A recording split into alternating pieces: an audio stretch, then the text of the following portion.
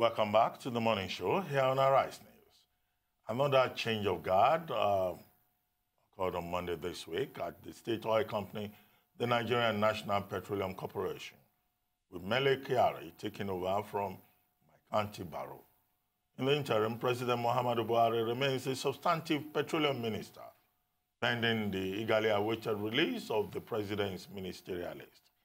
All industry players are hoping that the latest change in the management structure of the NNPC will not just be the latest swing of a revolving door, but one that will usher in enduring reforms in an organization which is reputed to be one of the most corrupt government agencies in Nigeria.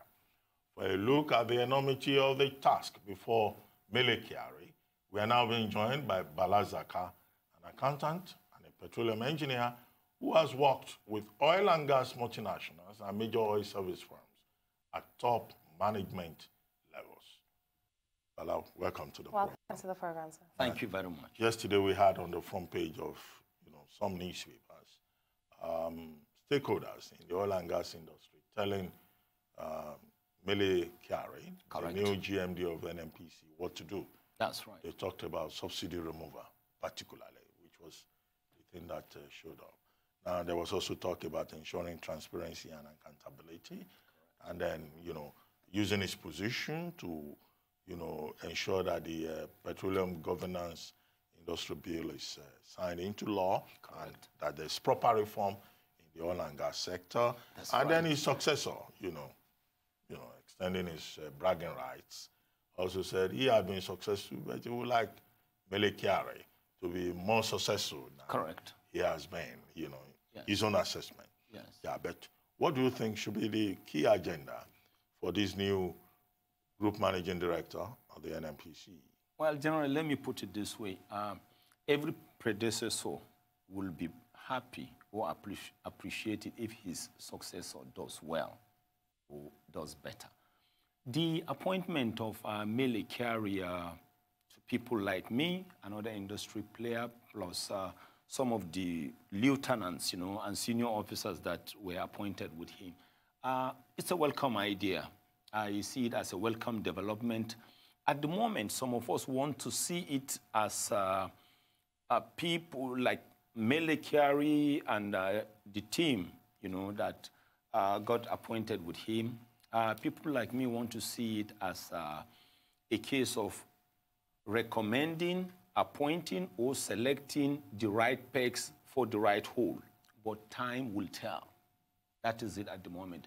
But regardless, you know, there is what we, there is something this way we analyze sometimes. We say perception is one thing and performance or practical performance is another thing. And it will be a function of time. But looking forward straight away, there are things that uh, I want to say the do of uh, Maikanti Baru and uh, uh, State Minister for Petroleum, uh, Ibe Kachikwu, did, and which we will want these guys to look at. But I will want to appreciate what happened, you know, the way and manner the transition took place. Unlike what we see in political dispensation in Nigeria, you know, a living governor will not be there to hand over to the incoming governor and things like that. But in this case, they were given probably more than like three weeks, you know, for effective transition and handover. That was excellent, you know. Absolutely. Now, you said time will tell, but the question is, do we have enough time? Can we wait and afford um, for time to tell? This is one known or said to be one of the most corrupt agencies that we have in Nigeria, and people are really looking in at Mele and what he promises to do. Yes. Headlines of this day: promises to fix nation's refineries by I will 2023. talk about that. I will address that. Let's address that. Yes. Do you think? Okay. Do you let, think let- let me now feasible? start talking about the issue straight away. I mean, when you look at it, like when you talk about NNPC, NNPC is the Nigerian global face as far as oil and gas industry is concerned. When you talk about the global face of Nigeria, you're talking about NNPC. Before the coming of, or before the appointment of Mele Kyari and his, co- and his uh, colleagues, or let me say lieutenants, I mean, Kachikwu and Maikanti Baru did their best, and this is the way I will analyze it. As at uh, the 1st of January 2019, we were made to understand that the proved gas reserve of Nigeria has increased from 187 trillion cubic feet to 200 trillion cubic feet. That means we saw an increment of about 13 trillion cubic feet. That is fantastic for Nigeria. And the reason why we are saying this is this. People who don't really know the dynamics and the economic relevance may feel, okay, we, we have been having gas flaring, this, that, that, that. Why is it so? But look at it the other way around. With this increase in gas, right, we're talking about now increase in, you know, cleaner fossil fuel. There is no reason why we should not now deploy our gas, you know, to make sure we generate electricity. Because before the unbundling of NEPA, we predicated that on the availability of gas. So in this case, we have every reason to boost electricity. Second point on just gas is this. You know, when you talk about fertilizer, we said we want to boost agriculture. From gas, you're going to get ammonia. From ammonia, you're going to get urea. Urea is the major component of what? Fertilizer. With that alone, we should be able to do something about agriculture and fertilizer production. Then when you talk on the same gas, we were talking about doing something about the West African gas project. You know, supply the same Nigerian gas to make sure there is energy sufficiency. We should be able to continue with that. There was a time we conceived what we call the Trans-Saharan Gas Pipeline Project, meaning that this same Nigeria was going to pipe our gas through North Africa, through the Mediterranean Sea to Europe. There will be nothing out of place with this help that we've gotten from this do. You know, why we shouldn't revisit that project. So on that, I want to believe they did well. Then when you look at what we call joint venture cash call relationship, they played a major role. Before now, Nigeria was not responding. No, we, under, we understand the roles that were played prior no, to no, this. we want to talk. Then we'll say we'll talk about where. You know, I said a predecessor will be happy if his successor succeeds. So we want to say what they what they did and the template and where he should take over from. So with this thing I'm just talking about only one aspect because I've not started talking about crude oil. Then moving forward now, before his appointment, there was a move by, you know, like I said, NNPC is the global face of the Nigerian oil and gas industry. And when you talk about oil and gas, you're talking about an international commodity. And we're talking about international commodity, I mean community here. So when we, before their appointment, NNPC took steps, you know, and revoked one uh, prospecting license and five oil mining leases. That was fantastic. So moving forward now, agenda for Mele Kyari and his colleagues, they should continue with that. There is a need to sanitize the Nigerian local oil companies. I stand to say this, and I stand to be corrected. The reason why we are saying this is this. Even before the description that NNPC gave, which an NNPC said they were being sanctioned because of legacy debts. When you say something has some level of legacy and you can describe it, that simply means there is a given level of consistency. That means they've been owing. But outside that, I can tell you, many of the local operating companies in Nigeria lack or have zero corporate governance. But I'd like you at this point to comment on the suggestion about subsidy removal. Oh, subsidy. Is uh, Kyari in a position, as GMD and MPC, Yes.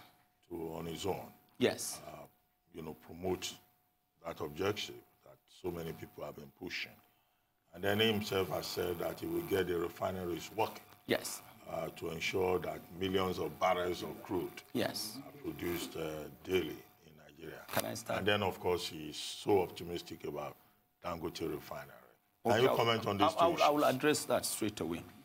First of all, I, I didn't support subsidy removal yesterday. I don't support it now, and I will not support it tomorrow unless I see certain things in place. And these are my reasons. When you talk about subsidy, subsidy is not a Nigerian balance. Subsidy is a, a universally and a globally accepted economic cushioning concept, just like democracy. And that simply means if subsidy does not work in Nigeria, you know, it doesn't mean subsidy will not work in other climes, depending on how it is applied or deployed. Just like if you say democracy, democracy is a politically and universally access, I mean, accepted system of governance. So if democracy does not work in country A, it might work in country B. To me, like I said, it's an economic cushioning concept. And that simply means what we need to do is not to discard that universally accepted cushioning concept, but to go after the monsters, the traitors, and the betrayers that do not want this subsidy to work. I've had a lot of people saying when you when you if, if, if you don't remove the subsidy, Nigeria will collapse. If you don't do this, I can tell you a lot of people don't know how poor Nigerians are. As a country, Nigeria is rich. But just like Zamfara is very poor. I mean, Zamfarans are very poor, but Zamfara as a state is very rich because of the gold. So it's the same thing. When you talk about this subsidy, as a country, we are a great country, we're doing well, but as citizens, we are poor and we need to be supported. And the reason, you, like I said, anybody who is against subsidy, I can tell you that person is probably an importer or a middle person. That person is not into production. And many people don't know that Nigerians are poor. No, but the point about subsidy. Yes. Know, the IMF, the World Bank, you know, the Emir of Kano, other persons who are yes. knowledgeable about this subject, you know, hold a different view. They insist that, you know, we need to remove subsidy from both uh, the petroleum, oil and gas sector and the electricity sector because it's the biggest excuse no. for leakages, they are wastages, wrong. corruption. You see, they are wrong. When you talk about corruption. Corruption is a process. But the amount of money also going towards Anyway, we'll take a short break. We'll take a short break. Let's yes. take a short break, and then we'll come back, and okay. then you you tell us why you think it is wrong to remove subsidy. We'll be right back. Stay, Stay tuned. Welcome back to the morning show here on Arise News. Bala Zakka, an accountant and petroleum engineer who has worked extensively in oil and gas multinationals and major oil and gas service firms, is still here with us on the morning show. Now, Mr. Zakka, before we went on a break, we were still on the subject of the subsidy, and you were yes. sharing a point of view um, after Mr. Uh, Dr. Abati had expressed yes. the views of I, others at the top. I think, if necessary, there will be a need for a national debate I've had some people saying when you... No, before you talk about that national debate, don't forget that Mele Kyari himself yes. I said they will consider you know, well, doing something well, about subsidy me, removal. Mele Kyari, and that it will fix the refineries. yeah, do you think he can do yeah, let me all just, of let, this? Let me just round up on the subsidy. Okay. You understand? I've had some people saying, oh, we are subsidizing the rich. We are subsidizing the rich. And I'm telling you, the reason most of these people are talking out of ignorance. When you hear about these people you call the rich people and you go to their houses, some people will say they have four or five cars. I will tell you, first of all, is they don't drink this petrol. That is it. If you go there, yes, they have drivers for the madam, for the children, and the rest. But, they but don't, is right to subsidize consumption? No, no, no, that's what I'm saying. It's wrong. Yeah. That person doesn't drink this thing. He employed people who are driving the cars. And if you say you will make it so expensive so that he drives the car, he fires all these people. If you go to companies who have bosses and you think uh, what is happening, you see, let me quickly say no, I'm this. sorry, it looks like you're oversimplifying. No, no, no, I'm not yeah. oversimplifying it. Let me tell you, the strategic domestic sector requires energy to drive. Let me quickly go through it. The, the, the, strategic industrial and commercial sector also require energy. The only reason why you are seeing we need this petrol and it's looking complicated is because we don't have electricity. And when you go to the filling station, cars and trucks are competing for diesel and petrol. That is the, the uh, with generators. When you say that's also because of certain dysfunctionalities in the downstream of the oil sector anyway, things aren't time efficient, things aren't cost efficient. See, when you talk about inefficiency, inefficiency can be, can be corrected, but you don't throw away you, functioning universal concepts just because monsters, traitors, and economic vampires are trying to make sure these things don't work. Doctor, what's Okay, your what's what's your, you know, take on the uh, conclusion that there's a lot of leakage?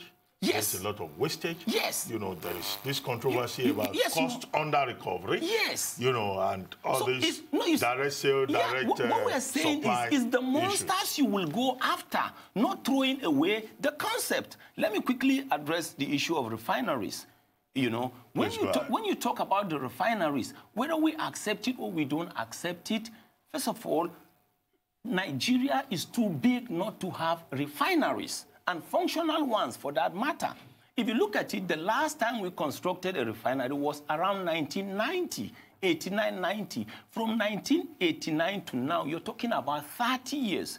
We've not been able to construct one additional refinery, and we've not been able to maintain the ones we inherited. You don't need anybody to tell you that we will run into energy crisis.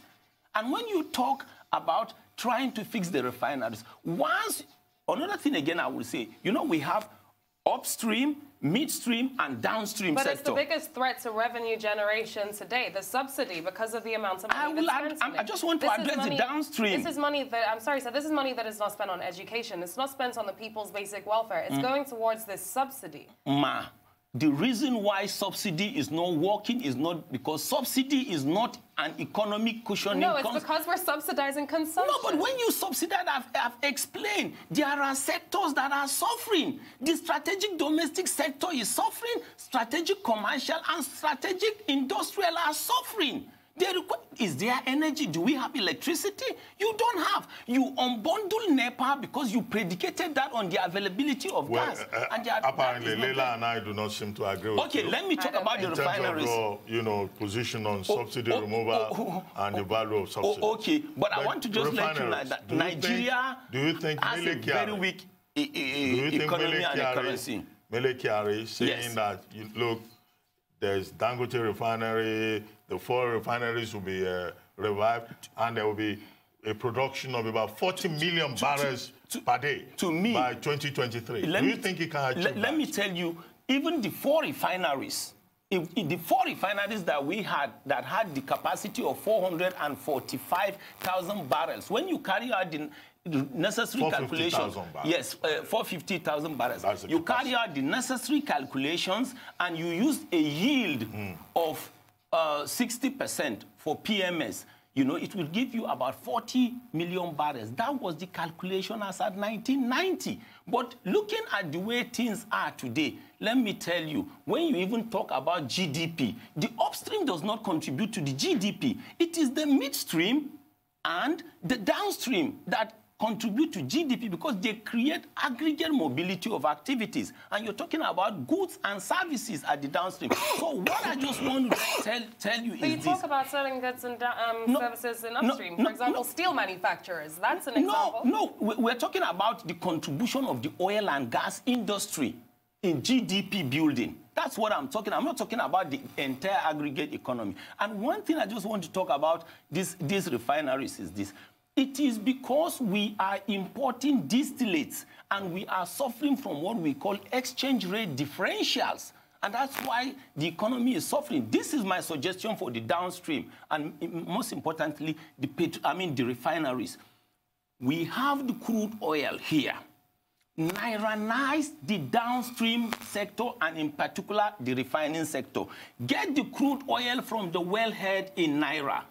Move it to the respective refineries through trains or wagons in Naira. Refine it in Naira, distribute it to Nigerians in Naira, generate your Naira. You will first of all free us from exchange rate differentials. That is one thing I will say. As far as I'm concerned on Dangote refinery, Dangote refinery is good, but it's an individual initiative. I am more interested in national initiative because an individual as a Nigerian, fantastic. Dangote can decide to sell off his investment tomorrow. He can cancel it. In the worst case, Dangote, Dangote can fall dead tomorrow. We need we national hope not. initiative. We yes, not. we hope not. You know, but we need a national initiative. Then. Bala Zakka, let me ask you this. Yes. You know, one of the things Mele Kyari Yes. says he will deal with is corruption. Yes, uh, He he made this statement yesterday. Yes. And he said he's prepared to work with the EFCC. correct. Yeah. If he wants to do this, what do you suggest to him? The- what areas should he be looking at? What, what we need today, if we want NNPC to work well, is to move away from political interference. NNPC should be thrown away from political interference. Once you remove political interference, I can tell you, from the group managing director to the cleaner, you will get maximum cooperation and service from them. Because I can tell you, from a toilet cleaner to the group managing director, these guys are sound. And it's not everybody that can be a toilet cleaner there. Political interference is the only thing no, that you don't need affecting them. special skills to clean toilets. No, you need not in an environment like, like like some of these IOCs I see and NMPC, and that's one thing many people don't know. The individual within NMPC are sound. I've worked internationally and I've tr- gone to trainings with them, but it is political interference that is affecting them. Just like okay, the petroleum industry bill. Can I tell you something about the petroleum industry Please bill? go ahead. You know, so. to me, till this moment, I believe in the 223-page document that the Diezani and Jonathan regime had, regardless of what people say about them. As far as the oil and gas industry is concerned, that was the best document. But along the line, you know, in the last four years of political dispensation, some people in their wisdom felt that document was too bulky and they needed to break it into four, right? But to our everybody's surprise, after the four years, they've not been able to pass one of the bills. And that tells you something. And that's why some of us are saying No, that. the governance bill has been passed. Yeah, but it has not been has assented to. But what we are just saying is if you break it into four, you have 20, I mean, uh, 25%, you know, 25, 25, 25, 25. But none has been assented to. So another thing again I want to say is this. We need only two things in the petroleum industry bill. International acceptance and local tolerance. International acceptance because you are dealing with the international community and it's an international commodity. Well, uh, Bala, we have to wrap up now uh, Okay. quickly. Yes. You know, in less than a, a minute. yes. Do you think President Buhari should remain the Minister of uh, Petroleum? Well, as far or as should I'm give that position to someone else? What I will suggest is this if possible, he should give it to somebody, and time should be taken to search and identify people who should occupy such position. And There hasn't closing, been enough time already taken No, to search for mm, mm, people that should no, occupy that position. No, no, no, no, no, no, no, no. You see, there is a mistake. People say dilute the powers of the minister. thank you very much. Thank you very much. We've enjoyed this conversation very much, even if we don't seem to agree with you on some of your positions.